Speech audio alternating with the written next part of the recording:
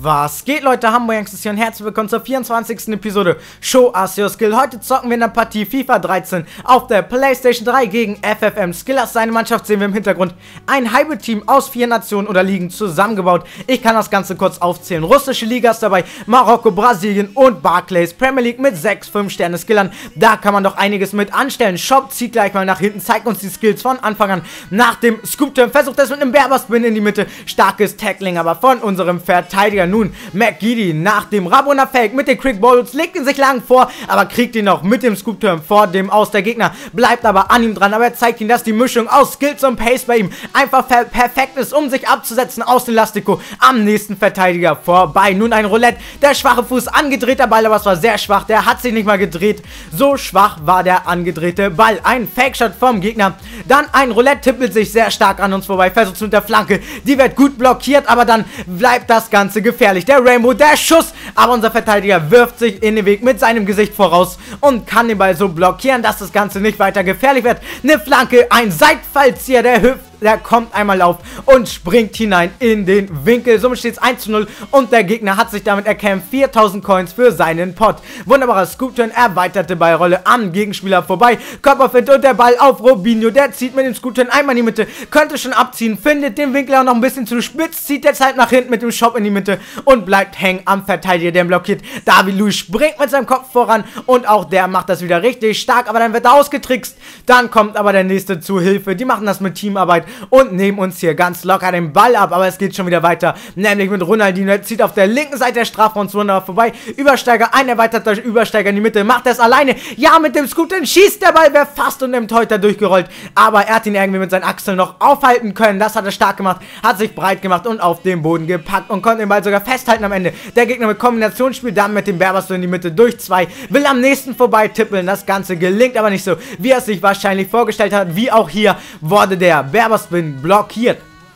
Schön am Gegner vorbeigezogen jetzt. Dann ein erweiterter Rainbow in die Mitte. Ein Seitfallzieher ins lange Eck, aber trotzdem eine Glanztat von dem Keeper mit seinem Pranken, mit seiner linken Pranke. Um genau zu sein, tastet er den Ball da irgendwie noch aus der Ecke hinaus. Dann ein Elastico-Shop stark gemacht. Wir sind schon in der zweiten Hälfte übrigens. Nach dem Roulette macht er zwei Scoop-Turns. Das kurze Eck ist frei und Tor! Carlos Eduardo. Klasse gemacht mit seinem schwachen Rechten am Ende hat er den sogar verwandelt. Man sieht den doppelten Scoop-Turn und der Near-Post-Finish. Keine Chance für den Keeper.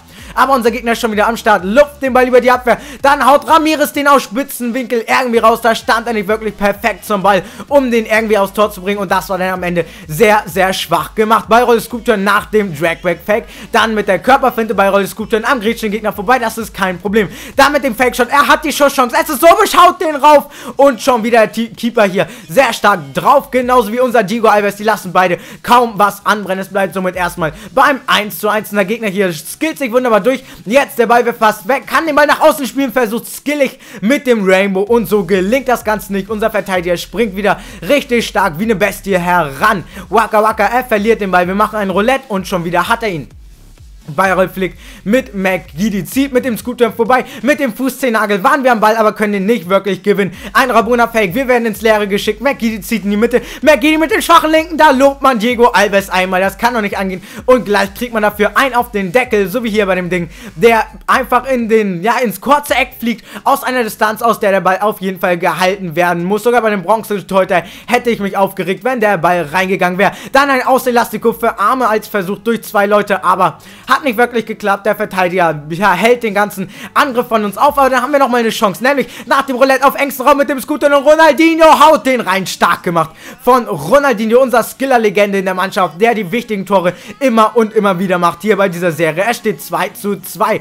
Carlos Eduardo zieht in die Mitte. Dann Elastico, der war sehr stark eingesetzt. Scooter, noch ein Elastico. Die Grätsche mit der Fußspitze holt er den Ball irgendwie und bringt uns den Ball sozusagen in Besitz, indem er den Angriff bzw. den Run gestoppt hat. Skills und Pace heißt die Devise hier schon wieder auf der Außenmann mit Robinho. Erweiterte Ballrolle zieht in die Mitte. Das war sehr stark gemacht.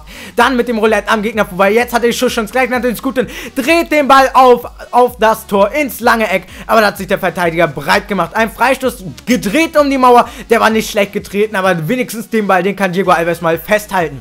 Dann Robinho am Start für uns. Robinho, was wird er machen? Elastico am Gegner vorbei. Das ist die Riesenchance nach der weiteren Ballroll. Wieso, mein Junge, wieso machst du noch einen Scoop-Turn? Da hättest du einfach abziehen sollen. Aber die Riesenchance, die kam erst noch mit Elkeson. Nach dem Scoop-Turn macht er eine Ballrolle, ein Elastico durch vier Leute. Auch der Torwart wird eigentlich schon verarscht und dann geht er an den Pfosten. Holy Crap, wie kann man den Ball noch vergeben? Naja, wir sind im Elfmeterschießen. Elkeson der erste Schütze und der erste Schütze, der verschießt. Na, toll.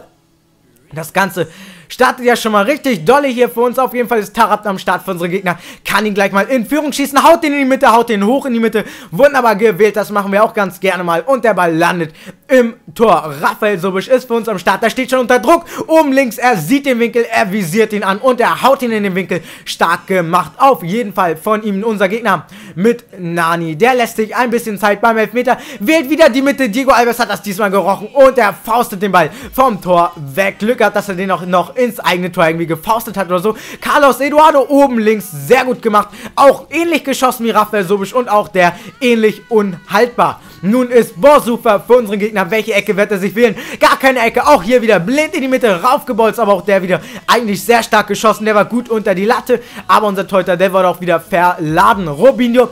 Robinho an die Latte. Das gibt's doch nicht. Kein Glück hier für uns. Das war sogar die Unterkante der Latte. Hätte sogar reinspringen können. Aber nein, nicht wirklich richtig die Latte getroffen und springt somit zurück ins Feld. Aber Diego Alves, der hält den Elber hier fest. Das sieht man sehr, sehr selten, dass Elber festgehalten werden. Das hat er aber gut gemacht. McGiddy für uns der lässt sich jetzt aber richtig viel Zeit. Der will den Ball perfekt im grünen Bereich treffen. Das macht der McGiddy. Die rechte Seite, der war nicht so gut platziert wie die Elfmeter sonst bisher. Aber trotzdem, da der Gegner sich nicht bewegt hat, ging der Ball rein. Nun bleiben wir in der Mitte stehen. Der Gegner bisher alle Elfmeter in die Mitte. Vielleicht macht er ihn wieder. Ja, macht ihn wieder in die Mitte. Wir gingen leider einen Schritt nach links. Der Ball ging einen halben Meter weiter nach rechts als wie die Mitte. Und somit das in Kombination führt zum Tor. Ronaldinho eiskalt. Das ist doch ein perfekter Elfmeterschütze. Warum ist er nicht am Anfang schon am Start im Elfmeterschießen? Nun unser Gegner mit Carlos Eduardo. Der hat nicht viel Fitness. Und der wählt sich wieder die Mitte. Aber das war diesmal zu offensichtlich für Diego Alves. Nachdem vorher schon fünf Elfmeter oder so in die Mitte geschossen wurden, musste es ja sein, dass auch dieser Elfmeter Meter wieder in die Mitte fliegt. Aber was ich dazu sagen kann, wie ich mir das Ganze erkläre. Der Gegner war richtig gut im Skill, das hat man in der Partie gemerkt. Aber Elverschießen, das war halt nicht seine Sache. Das Ganze kann ich damit erklären, dass er wahrscheinlich ein Spieler ist, der nur Liga-Partien spielt und deswegen, da kann er keinen Elfmeterschießen bei rauskommen. Somit kann er Elfmeter auch nicht trainieren und somit kann es halt dazu führen, dass er die Elfmeter nicht so doll schießen kann. Aber das Ganze hat ihm in diesem Spiel das Genick gebrochen. Durch dieses Elfmeterschießen hat er halt die Coins verloren, die er sich für seinen Pot erspielt hat.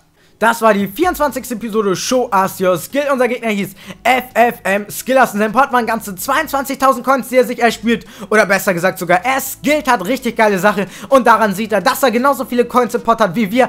Dass er einiges in Sachen Skills drauf hat. Von den Skilltoren waren wir also gleich auf in der Partie. Das Einzige, was halt bei ihm so ein Stück gefehlt hat, das war die Technik, wenn es um 11 Meter geht. Und das Ganze hat dazu geführt, dass er die Partie nicht gewinnen konnte, da wir uns so ein bisschen mit 11 Meter auskennen. Das Ganze haben wir ja öfter das. Naja, auf jeden Fall eine starke Leistung von ihm. Kann man nichts gegen sagen. Wenn ihr das nächste Mal dabei sein wollt bei Your Skill, haut auf jeden Fall einen Kommentar in die Comments mit eurem Gamertag der Konsole, auf der zockt. Und mit etwas Glück werdet ihr vielleicht ausgelost, um das nächste Mal dabei zu sein, live dabei zu sein in einer Partie Show Us Your Skill. Hamburg Danny ist raus. Ich hoffe, die Episode, das Game hat euch gefallen und ciao!